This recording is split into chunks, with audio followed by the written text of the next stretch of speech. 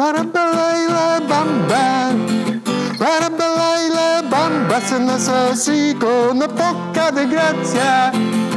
Una poca de gracia pa mi patilla y arriba y arriba. Oh, hello. My name is Nicos Tescos. I work for the Faculty of Agribusiness and Commerce. My role is a senior tutor. I'm the coordinator of teaching support. I'm the person who emails first year students to book for tutorials. I'm very passionate about my work here at Lincoln University. I have been a staff over 20 years. My name is Amaka Nnaji. I am from Nigeria. I'm studying for a PhD in economics in the Department of Global Value Chain and Trade, Faculty of Agribusiness and Commerce. Lincoln University is such a small, inclusive, tight-knit community. It feels like a home away from home.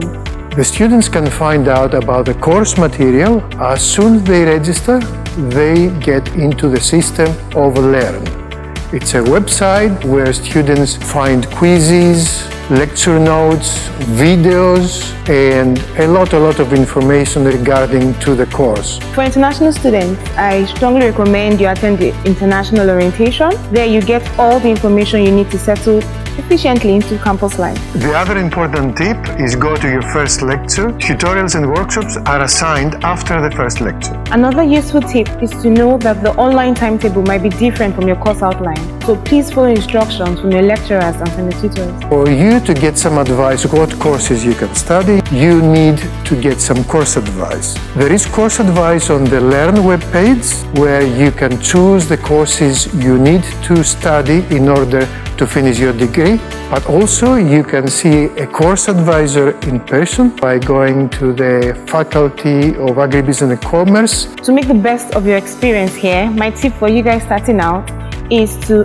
meet different people of different cultures, learn new languages, make friends. It's multiculturalism prepares you for the global society. Uh, we prepare and create outstanding graduates who can increase productivity, commercialization and sustainability in their workplace environment here in New Zealand and the world.